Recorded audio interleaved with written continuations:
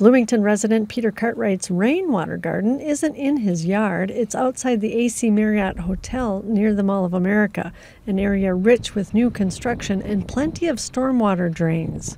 The number one key is to design it properly so that this, this rain is captured and directed toward the irrigation activity uh, that you desire, and then preparing the soil and uh, putting in the right plants.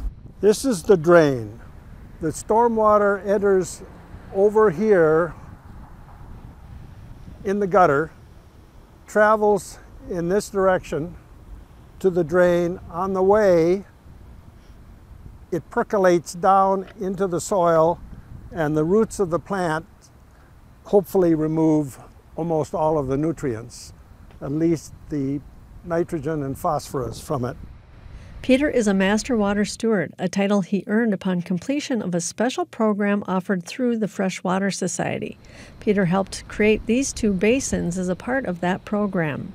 Basically, they encourage people to, to enroll as, uh, through a, into a Master Water Stewardship course. It takes about a year.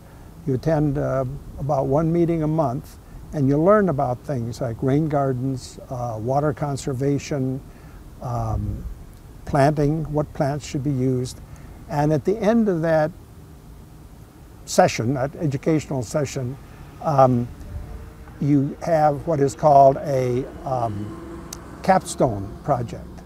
Uh, I received a grant from Hennepin County to buy the plants and to buy the mulch, and the actual planting of the total of 166 plants was uh, credited to volunteers. I, for a number of reasons, uh, decided to reach out to the city of Bloomington, and who has been extremely cooperative.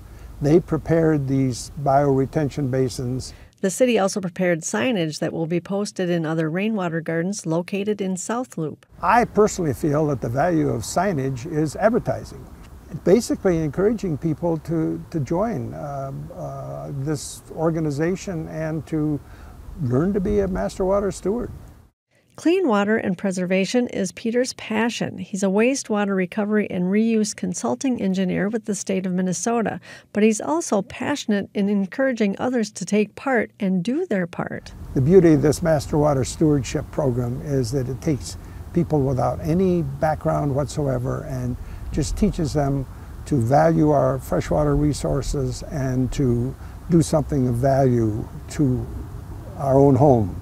And while just about anyone can become a master water steward, you don't have to be one to make a rain garden. But being involved with the Master Water Stewards program does bring other benefits. What I know about plants, I can count on one hand and have several fingers left over. So I'm clueless, but I learned a lot and I think part of, of, of, the advantage of living a long time is you realize how little you know and how great the opportunities about learning something new. And I learned a lot.